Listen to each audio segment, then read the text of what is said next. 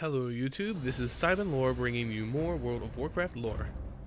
With this new series of videos, I wish to discuss the Eternals of WoW and their role on Azeroth. So firstly, what is an Eternal? Well, an Eternal in the WoW universe refers to any immortal being with divine or godlike powers. The Eternals are believed to be the shapers of Azeroth, changing it in either subtle or rather obvious ways. They can take center stage of a changing world, or they can be behind the curtains pulling the strings. Eternals are oftentimes worshipped by the mortal beings of Azeroth because of the great benefits they can bring to their respective people, or the destruction they can bring to their enemies. Without question, the Eternals that hold dominion over this small portion of the universe, or perhaps over its entirety, have played key roles in Azeroth's creation, manipulation, and attempted obliteration. With respect to the pantheon of Eternals who are actively worshipped on Azeroth, the Loa of the Troll religion are some of the most influential Eternals for a single race of beings. The Loa are the gods, demigods, and Eternals worshipped by the Troll societies.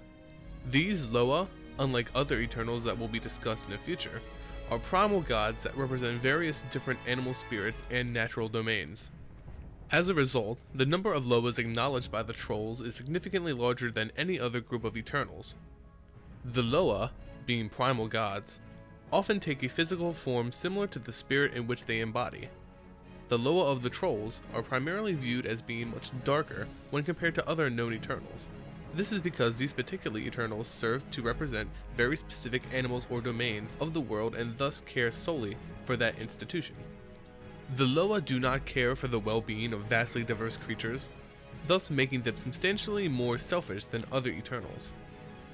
The Trolls have worshipped this pantheon of Loa since the dawn of time, several thousands of years before the shattering of Azeroth. The Loa were crucial for the Trolls' survival in an ever-changing and increasingly hostile Azeroth. The Trolls' dark religious practices and experimentation of voodoo magic were necessary to appease the Loa they have come to refer to as the gods of the Troll race. But in exchange for these dark offerings, the Loa Pantheon bestowed the Trolls with the abilities to enhance their physical and magical capabilities, leading to the continual survival of the troll race. As the great empires of the trolls shattered with the Sundering, a number of independent troll groups began to emerge. With this separation of troll societies came a differential in the Loa that they worshipped.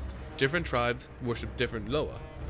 With this first series of videos on the Eternals of Azeroth, I want to go over the different Loa worshipped by the trolls, as differentiated by tribes. The first of which being the Loa of the Gurubashi tribe. Thank you all so much for the support that you've shown my videos so far.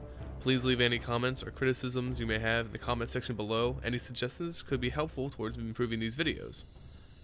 As always, thank you for watching and I'll see you next time.